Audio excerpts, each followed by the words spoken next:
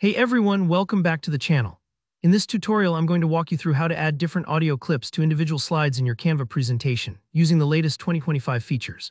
Whether you want to spice up your next school project, keep your audience engaged in a business pitch, or simply add a personal touch to your digital story, by the end of this video you'll know exactly how to give each slide its own unique sound. It doesn't matter if you're a total beginner with Canva or you've been dabbling for a while, I'll break everything down step by step, so let's get right into it.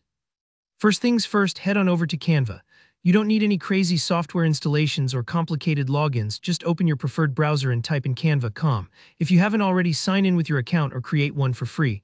Once you're in, go straight to the home dashboard, here, where all the magic starts. Now let's get creating. Click that big bold create button in the top right corner. If you're new to Canva, it looks just like a plus sign or might say create a design.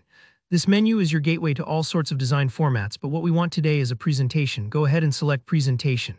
Canva gives you several options for size and aspect ratio, but the standard one works great for most uses.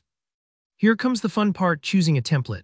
Templates are fantastic because they give you a ready-made starting point, kind of like having a blueprint for building a house. Scroll through the library and pick a design that matches your vibe or the tone of your presentation. Don't worry too much about the template's colors or images right now, you can customize everything later. Just select one that appeals to you and load it up. Once your presentation is open, look to the left panel and find the Elements tab.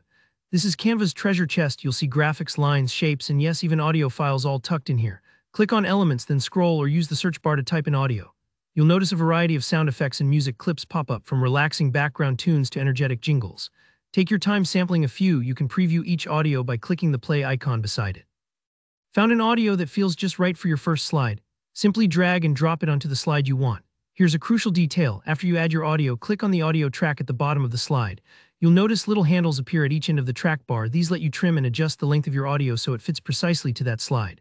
Slowly drag the ends so that the audio only covers your first slide, not the whole presentation.